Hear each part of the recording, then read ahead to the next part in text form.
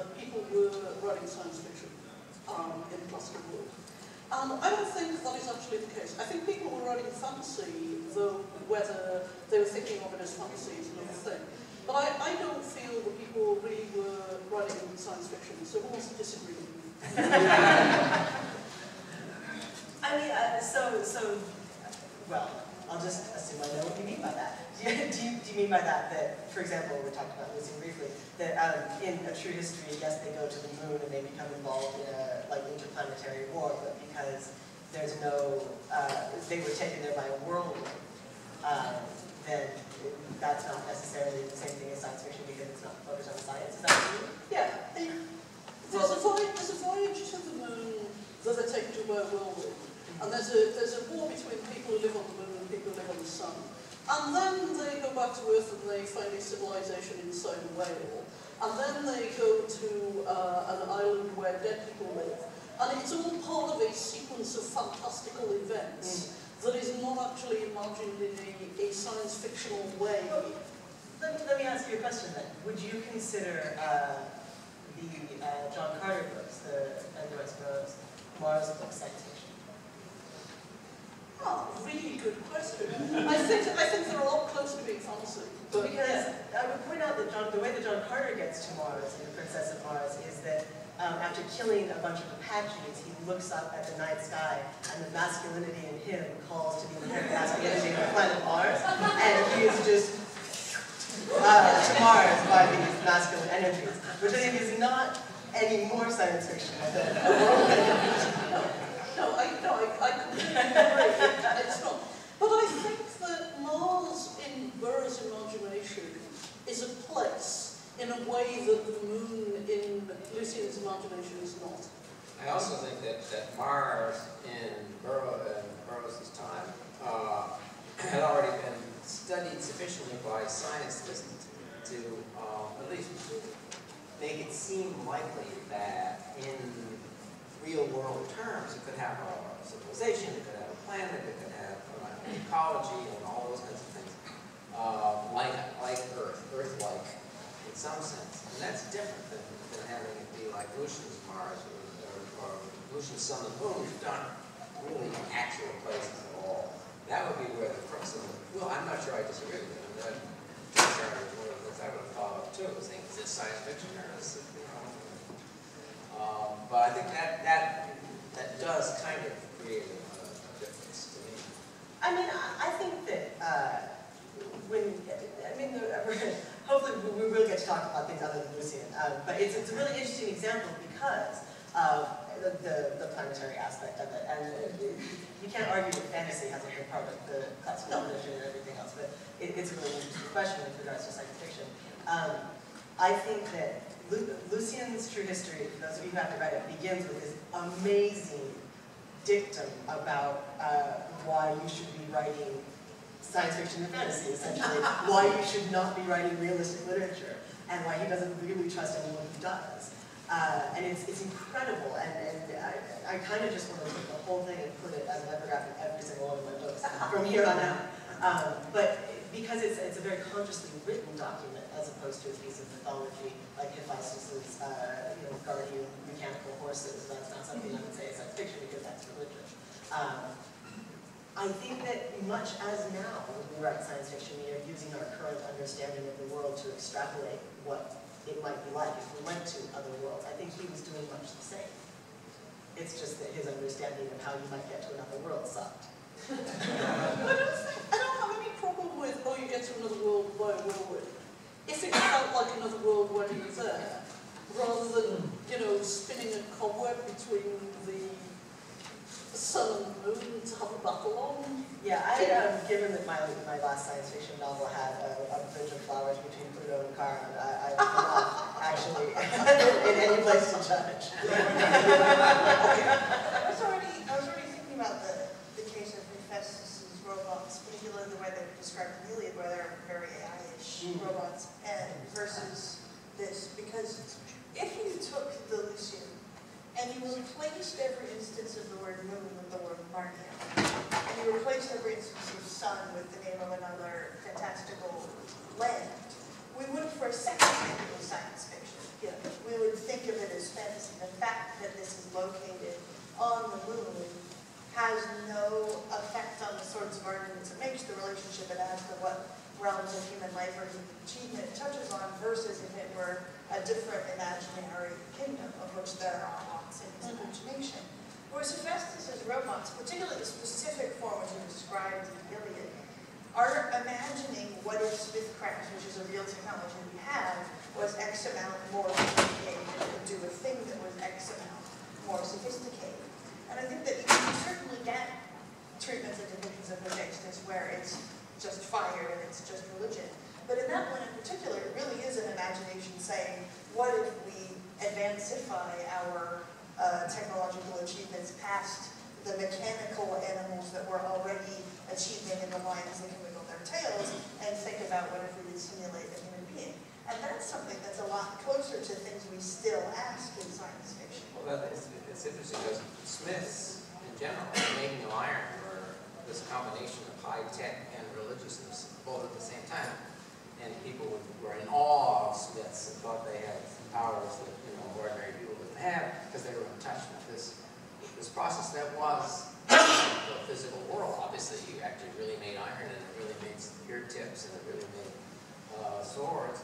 But at the same time, was also divine, had divine properties. Well, that's an awful lot like, you know, people think of science in, in the present day. It's not just limited to technology, it has stuff about cosmology and the nature of things we've to I don't, I don't think it's entirely fair to, like, say, if it were called something else, it would be something else. It's not called Narnia, it's not called Another Fantastical Land, it's not the Island of Shadows, it's not the Island of the Lost, it is the Sun and the Moon. If we say that the essential question of science fiction is what if, the question being asked is, what if we could go to the Sun and the Moon, what would we find there? So what if there were a place called Narnia? Uh, there was a really interesting debate uh, around the year 1000 uh, in Central Asia and Persia between the great scholars Ibn Sina and Al-Biruni. And uh, Ibn Sina is known as sort of the bastion of uh, Aristotelian thought in the uh, medieval Islamic world. And his philosophy, in some ways, through the great work Hayat Yaqdan, uh, which was translated into Latin by Locke's teacher, influenced our notion of tabula rasa. And central to Hayat ibn Yaqdan, which is the story of this sort of feral child that's spontaneously generated on this des- deserted island and sort of comes up with all of human knowledge on his own. Uh, the fundamental idea of that is that if you have the right conditions, pure intellect can get you anywhere. Uh, and the fundamental debate between Al-Biruni and Ibn Sina, from a retrospective point of view, I think is about the question of science. And what do we really mean by science? Because Ibn Sina's notion of pure, in his notion of pure intellect, even something imagined is also still real. Um, so Narnia is still real because it's something, it's an intellectual idea in our head. Uh, and that was sort of the, the fundamental difference between Biruni and Sina. So they were talking about parallel universes and the existence of vacuum and whether um, there's a fundamental notion of atoms and knots. These are all ideas that in some way are unverifiable. And so if you, if you use a Popperian definition of science, that's unfal- unfalsifiability. So I don't know, I'm not quite sure what science means historically, and even what it means today. If we even look at the social, political implications of how science is made, um, it seems so scattershot. Um, myself being a physicist uh, previously, the more and further and further you get into in quantum physics, you have a notion of an electron hole, which literally means an electron. It's like an electron, but it has a positive charge. But it actually isn't anything. It's just a mathematical configuration you made up. Um, so I don't know. When we talk about science, it's really hard for me to. What? I don't know what it means. That, that, that, to me, to me, raises the, the question, what is it, I mean, are we look, are we looking for, as we do this, sort of proto-science fiction, that's to say the beginnings of science fiction, or uh, are we looking actually in the opposite direction? And saying, okay, and now you could pick out some- we should science of, and say, all right, that's the beginning, that's the very first, and there's others that follow on that, and it develops and creates more of the same kind of thing, and finally ends up with um, Frankenstein, and then that, is that what we're doing? Is that, is that, that's a, that's a notable history, but I don't think, I don't think you can do that, because there's no development. There's no, connect- none of them connect. Yeah, A lot of them are just clustered into like amazing tales or whatever, they don't yeah. connect. And then you can look at it from the other way around, and I don't think that kind of doesn't help either, really, say, all right, we're gonna take science fiction. This is what I think you're doing when you're talking about this this solution. And take science fiction, and say, these kinds of things happen in science fiction. People go to travel to the moon, they go to the planets, they, you know, do the various things. And then you go back into the past to find or locate those same things and stories of the past.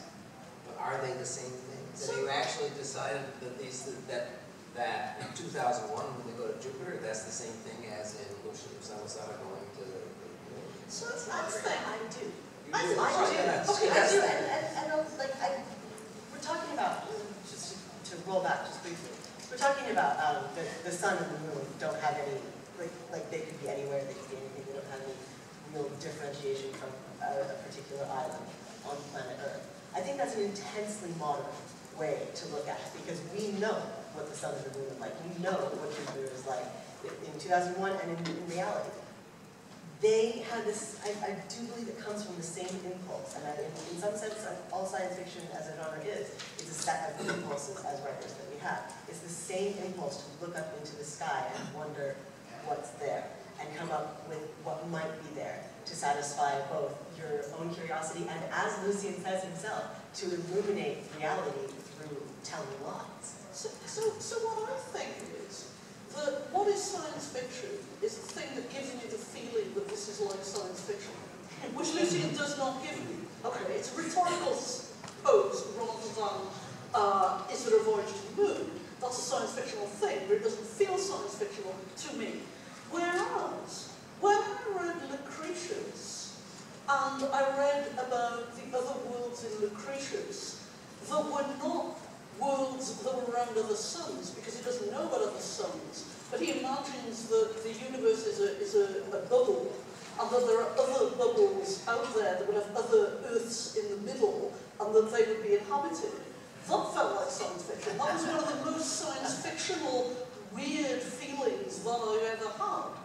And that his, his way of imagining the universe was a science fictional way of imagining the universe, even though he wasn't writing fiction at all. He was trying to explain what Epicureans really thought the universe was like. If I remember, for example, Voltaire's Micromegas, where he has aliens uh, who come from first a planet orbiting Sirius and then from uh, Saturn, he s- works hard in that to speculate, okay, what are the differences between Earth and Saturn, and therefore what are the differences going to be between Earth-dwelling beings and Saturn-dwelling beings? And if Saturn is this much bigger than Earth, then the Saturn-dwelling beings will be huge compared to humans, and maybe they will live proportionally longer than that. So that he's worked hard, the way a modern science fiction author does, to have the planet and the differences between the planet and Earth be reflected in some logical way in the species that he's developing on this planet. In contrast with the kinds of beings that are located in the Lucian, which are very similar to the kinds of interesting other species that you get encountered in uh, Greek depictions of imaginary Ethiopia, which has a very interesting culture, uh, which is very clearly based on imagining other lands or islands that you discover. It's making me think of a really quite tedious lecture I sat through recently about islands and people you meet on islands in 17th and 18th century Don Quixote fanfic. are staggering volumes, and which are super popular in England, and which one person has like three words of Latin which suggest the Tempest may be based on one of these lines of Don Quixote fanfic. But um, uh, there are lots of very interesting patterns in what kind of made-up person and what kind of made-up race you encounter on an island in, in works by zillions of different authors in the same century versus the kind of made-up culture you encounter on land as opposed to on an island because there were already these sorts of genre conventions which, which we're blanching out because we're not from the period, but once you immerse yourself in the period you get to what kind of media you encounter, what kind of adventure you have on an island versus what kind of adventure you have on land. And, and I think that the kinds of adventures that Lucian is setting on the sun and the moon are in that genre sense very similar to the kinds that you're setting in Greek fantasy Ethiopia. In a way that Voltaire's Saturnian is very grounded in the extremely nascent astrological, astronomical science that Voltaire is thinking about. And that that is a meaningful difference. Giordano Bruno never, never told a story about it, but he had a very similar idea that all the planets went around the sun, including Earth, they were all equivalent to the Earth, and they all had beings on them that would be adapted to the kind of, of, of planet they were on, which had, of course, an astrological nature also. Uh, they'd be fiery and, and soldier-like on Mars, and beautiful and peaceful on Venus and so on. Uh, but he also thought that the planets went around the sun because they chose to. And the planets beings on their own, and a will and desires and all that kind of stuff. It's also uh, kind of, kind of stuck there. Is that a, is that a forebear, or is that an outlier? It's hard to know. I mean, I feel like we're, what we're actually getting into right now is whether or not science fiction in the classical world is hard science fiction or not. Because, Absolutely, that's, that's yeah, exactly because. I mean, the major difference Inadequate. with Voltaire is he had some information. He had information to think logically about because he knew that Saturn was a thing and was bigger than Earth. Like he had some And the information Christians works on. Saturn is something bigger. But he doesn't know anything about it the way Voltaire does. Like, it, it, it, it could not possibly be more abstract. From the information that, that Lucian had, I think he did a perfectly fine job likening it to island. And in fact, it's, it's not an unsophisticated idea that the, sol the solar system, the galaxy, should be not different than uh, islands in the stream. Uh, and to some extent, I feel like it's kind of a limited definition of science fiction uh, to say that it's only science fiction if, if serious science that we understand now is taken into account while Yeah. creating other worlds. That, that's one of the, that's one of the, got to be one of the central definitions, all right? What is it? I, I uh, worked on a, uh, a modern version of a, of a kind of, uh, what I consider to be a possibly a science fiction uh, novel. It was written in 1616, which is way back, not classical, but it's called uh, The Chemical Wedding of Christian Rosenkreutz. And um, into a long debate in a, uh, on The Guardian, of all places, which took up my claim that it could possibly be regarded as the first science fiction novel. And one of the one of the commentators was just absolutely definite. You could not have science fiction before you had science. And that all the stuff that you could regard as uh, structurally equivalent to science or Searle-like science or functional story-like science, those weren't science fiction because they weren't science. Couldn't be alchemy, it couldn't be any of those kinds of things functioning in stories in the same way the speculative science act works in science fiction because they weren't science. So there I- I couldn't- science in 1616? Is that- Well, there's bacon, and there's a couple of things, and, um, you know, a couple of come along.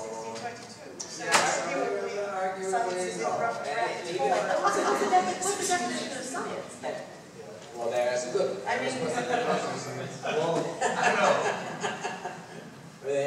If, the people you're talking about, talking about way long ago, positive. Well, I think we have sort of this idea that if we're going to see something as science fiction, we have to judge it on their own terms. So when, whatever they empirically observe in the world, we can judge their science based on what they've taken, what they see in the world. Um, I think science is more than just that. Uh, I, I want to go back to what you're saying, it feels like science fiction. And I think there's something also in the idea of science that has a sensibility to it. And as a historian of, science, particularly in the Middle East, um, there's a really great essay by Marwa Elshakry uh, called When Science Became Western. And her whole thing, she, it's really interesting. She traces uh, from about the mid-1800s to the mid-1900s the introduction of Darwinism by Christian missionaries into a secularizing Egypt. And how actually Muslims wanted to adopt Darwinism because they saw it as part of the secular, secularizing uh, their state. Uh, and she says that uh, the missionaries would translate the Arabic Quranic term ilm, which means a, a very broad knowledge that encompasses almost anything you can imagine. And they sort of secularized it into a very particular category of empirical, uh, divided knowledge that was separate from maybe fantasy or religious knowledge or theology. Um, and so when I think of what is science, I, I look at it just historically, and I think of that historical moment. And I know that's not a universal historical moment, but I think of that, that division then. And what, what does it mean if we're going to impose what to me seems like a very modern category onto histories where uh, that sensibility may not have been there, or was only there in bits and pieces. I would, But what, what sensibility are we talking about? The division of categories. I mean, Yeah. But then, then Aristotle's got it. Like, if we're gonna talk about dividing categories, then, Yeah. then if that's the definition of science, then there's absolutely no question that the classical world was a fully scientific place. Now, Greeks love to flap their gums and not do any experiments, so, like, if, if you wanna say that experimentation is the root of science, then I think we can have a conversation. But if it's categorizing, like, if Greeks aren't even the first, they are just, they really break it down. So spending a lot of time talking to historians science and publishing with them, um, the, the definition of science that one most frequently runs across getting fought over uh, is one, uh, and I'm not, I'm not arguing for this definition, but it's a definition that is always in these conversations. Defines modern science as the thing which begins at the 17th century with René Descartes and Francis Bacon, which is contrasted which, what, happened before by two characteristic changes. One is the development of a scientific method with formalized running an experiment, having someone else run an experiment, comparing those things, testing it, along with the concept of progress and the idea that a group of scientists working together, verifying each other's things are going to gradually develop knowledge which will then result in useful steps which will then improve and change the world generation. This is a concept come up with by Bacon at that point and changes in a big way the way people perceive what science is for. Now note, science doesn't actually succeed in doing this for another two centuries. It's really the 19th century that pays Bacon's IOU when he wrote, hey world, if you give lots of funding to science and scientists work together, we will improve the world. Wait 200 years, it happened. Um, but, but it's a different way of thinking about science in contrast with people who are doing very, very scientific things, Leonardo being a very classic example, who is writing it all down in narrating so that nobody else can possibly ever do it. It's about him having control over these things. Only he, his state, and his patron being able to do it, not about collaborative work and accumulation of all knowledge by group, but individuals, states, places, and geniuses developing new stuff. When people argue that there's no science before the modern era, that's the closest thing to a sensible definition of that that they're using. And there are many problems with that, and there are many other words to be said about what counts as science, but that is usually the debate swivel point um, that historians come let let me, let me propose this then, that that's a fine definition of science, it's there, you know, you could take it, you could make objections to it certainly. But that's a fine definition of science. Now, is that what science fiction is based on? Is that what science fiction, is that the science that science fiction makes its stories out of? No, no, of course it isn't. It makes it out of any kind of crack, wacky, speculative. And in fact, stuff as crazy as Lucian's idea, you you know, you could fall into the moon by a whirlwind. Or John Carter of Mars, you know, you fall asleep looking at the stars? We're on Mars, of course. Um, but that, but, I mean, the, the stuff of science that the classic science fiction uses, it's very rarely something that they've worked out. They think, This is scientific experiments and, and accumulated literature have proven that this is the case. Now I'll write a story where that's shown. No, that's, that's not how it works. It's like, hey, if that's so, maybe this is so. You know, maybe if you get bathed in radioactive waves, you'll turn into a giant brain. Start shrinking away to nothing. You know, who knows what could happen? That's science fiction. But when I think of For me, though, that doesn't sound like science. What? When I think It doesn't even sound like, no, it doesn't Yeah. sound like science. But But it makes, call it science. It's Yeah. on the, it's on the title of the book, it's science fiction novel. It's not science, what are you asking? When I think of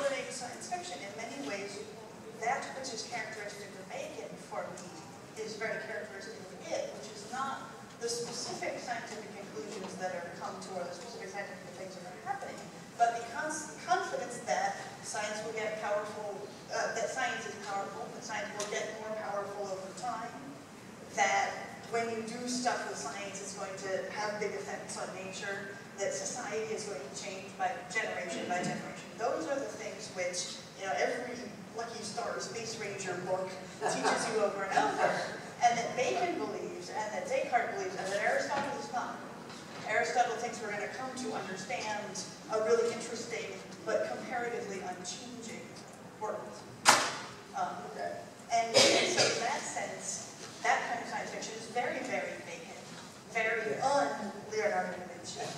Uh, regardless of all three of these things erroneous technical facts. Well, Bacon would never propose the, the kinds of things that go on in uh, early science fiction, even in his own scientific terms. Though. I mean, he would never say, pretty soon we're going to find out X. You know, he, he did not speculate. He said, well, you know, let's stop and wait and see what does come of these kinds of this way of working.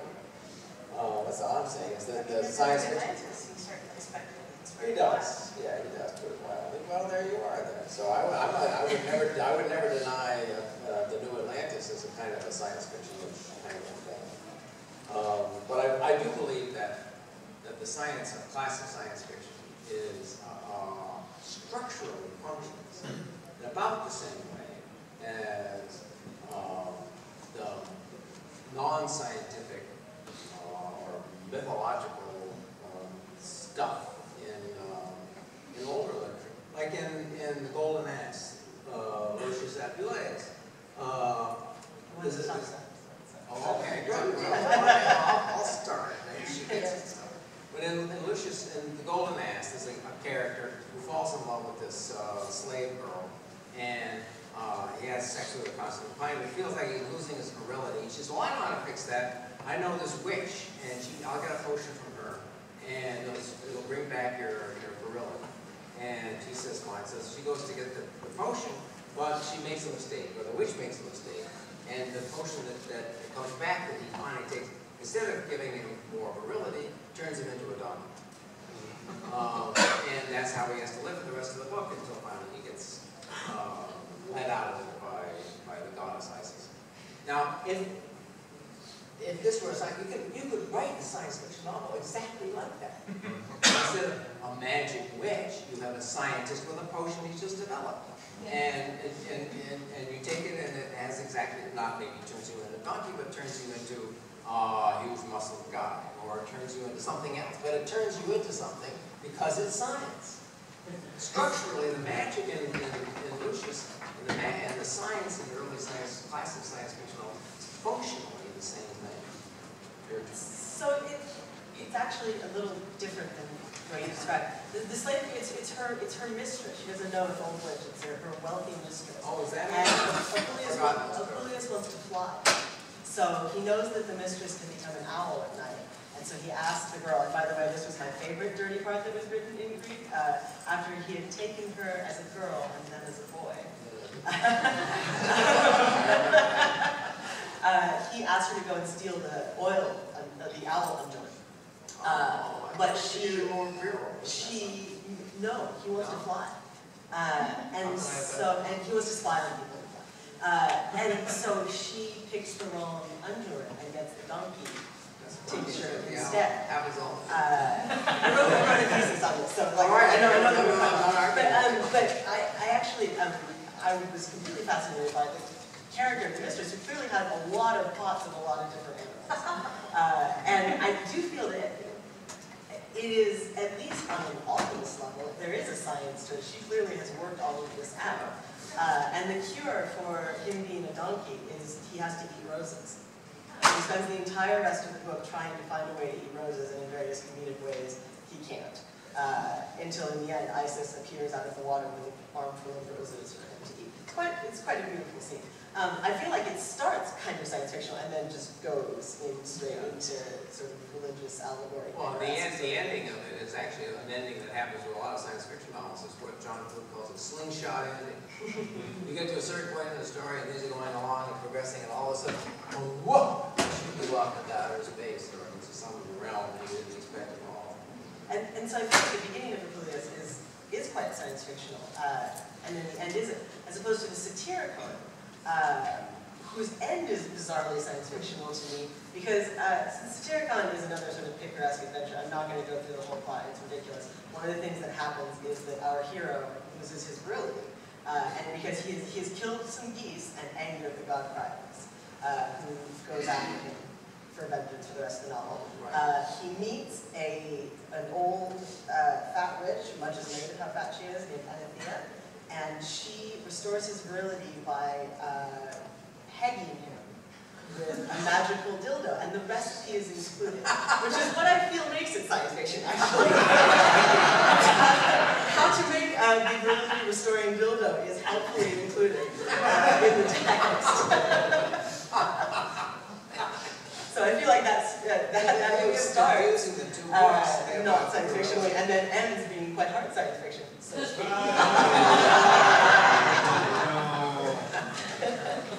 Oh, if you start groaning with my pumpkin now, it's gonna be a long weekend. Well, I guess the question becomes then what is fantasy? Hmm. That's fantasy can be, with proper reasoning, made into science fiction. Or with proper thematic stinging, although I think we're trying to think about the, the, em- the film The Emperor's New Groove, in which, because the alchemical building witch wears lab gloves and keeps her animal changing potions in test tubes, it feels like ancient Aztec science fiction. Uh, but if she kept them in bowls, it would feel like fantasy. And that's literally whether the line goes like this or whether the line goes like So this. In other words, Apuleius, they're identical, pots, so yeah. where does that fall? In other Yeah, words, chickens in pots, uh, you gotta test it, you got a glassware. I mean, I, I would argue that a, a, a definition, an excellent definition of fantasy is simply the first three of a true story, where the entire defense of writing things that you know are not true, uh, is, is set out. I mean, this thing we've been talking about this whole time is called a true story, and it's patently not. Um, I mean, it's probably one of the first bits of meta fiction. Yeah, he says, he says the one true fact is that I'm alive. Right. Yeah. In, in that introduction. Right, the first thing he says He's like, is yeah. not a true story. But I think, I think the, the question about the pots, yeah, it's the idea that she's got an organised set of pots that turn you into different stuff that of there, is indeed a very science fictional idea. But the idea that you go steal the wrong one and comedically turn your boyfriend into a donkey is a very fantasy, it, it's fairy tale, it's a folklore trope mm. that, that you're doing it. And, again, we're back to how it feels to me, the great definition of science fiction.